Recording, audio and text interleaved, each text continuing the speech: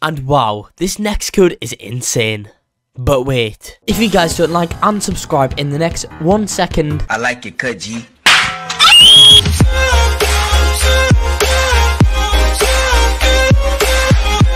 Hello there and welcome back to another video guys. Today we are in a super power fighting simulator over here. So in today's video I'll be showing you guys all the working codes which you can redeem in this game today for the Halloween update. So guys this is definitely going to make this an awesome video that you all are not going to want to miss out on. Before I start anything off guys I quickly need to tell you all about the Robux giveaways that I do host on this channel. I'm giving away Robux all the time and all you guys need to do to enter into them giveaways is pretty simple. Get down below right now like this video, then subscribe. The once you have done that, go in the description of the video, then join my Roblox group. The once you have been ahead and I've joined my Roblox group, guys, go ahead and leave a comment with your Roblox username. That's as simple as it sounds set there. I'm giving the Robux like this daily, as you can see on screen people that enter in the giveaways and do the steps exactly as I state before. And also if this video on Super Power Fighting Simulator does hit 2000 likes, next video on this game I'll go ahead and give away a Robux gift card code. So guys you know what to do, get down below right now and drop a like on the video.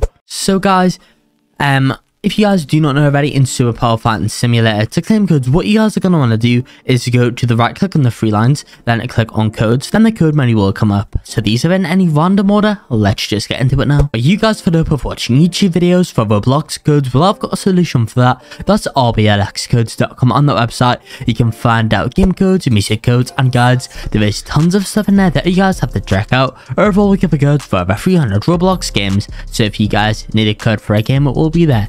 And then guys, I guess, let's just go ahead and go into this video now. So guys, the first code today, well, we're going to go ahead and try code Halloween. We'll see if this one's working. It may work, it may not. That one's invalid, which is unfortunate. Anyway, guys, not to worry because I've got a full list of working codes over here.